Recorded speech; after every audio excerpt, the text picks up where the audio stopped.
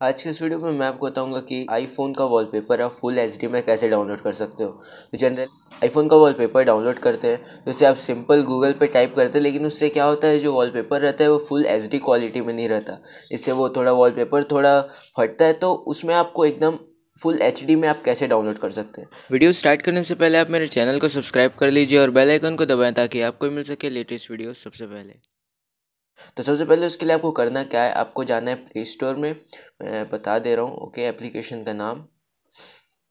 Okay जब आप play store में सर्च करेंगे वॉलपेपर फॉर आईफोन्स तो आपके सामने ये वाला रिज़ल्ट आएगा। आप उसे सिंपल ओपन कर लीजिए। ओपन करने के बाद आपको ये वाला एप्लीकेशन को डाउनलोड करना है। तो पहली बात तो मैं इसे ऑलरेडी डाउनलोड कर चुका हूँ तो मैं दोबारा नहीं करता हूँ। तो जल्दी से आप इसे डाउनलोड कर लीजिए। उसके बाद आप जैसे ही इसे ओपन करेंगे तो ये कुछ इस तरीके का इंटरफेस है ओके सो so, इसमें आपको वॉलपेपर का जो आईफोन एक्सेस मैक्स में वो वाला मिल जाएगा सबसे लास्ट में। ओके okay, मैं इसे थोड़ा लोड होने देता हूँ। Wait a minute okay so आप देख सकते हैं एक ये वाला है। इसमें आपको स्टार्टिंग में ऐड आएगा आप इसे कट कर दीजिए। ओके सो ये वो वॉलपेपर फुल एचडी में आप देख सकते हैं।